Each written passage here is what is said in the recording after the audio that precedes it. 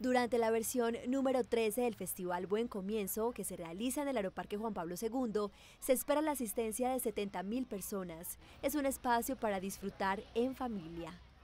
Qué rico esta gran fiesta de ciudad, de distrito, eh, la ciudad de los sueños. Es un, es un festival que hemos tejido paso a paso, es la treceava versión tenemos entidades aliadas, entidades prestadoras de servicio, es una fiesta para los niños y las niñas y para las familias, entonces tenemos espacios interactivos, tenemos espacios culturales y artísticos, entonces es una gran oportunidad de vivir en familia un espacio pensado con tiempo de planeación importante.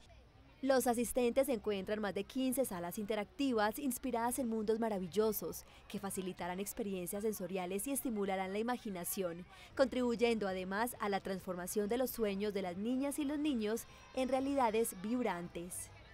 Y a mí lo que me ha gustado más es todo y me encanta. Con mi mami, mi papi, mi hermanita, mis primos y mi tía. Aquí he, visto el cuento y toma juguito. Rico. Este es un escenario de movilización social enmarcado en experiencias de educación inicial. Constituye una gran oportunidad para aportar a estos retos de transformación educativa y cultural. En el día de hoy estamos haciendo una escena donde vamos a sensibilizar y empoderar a nuestros niños y niñas a que cumplan sus sueños, de que sí, se puede.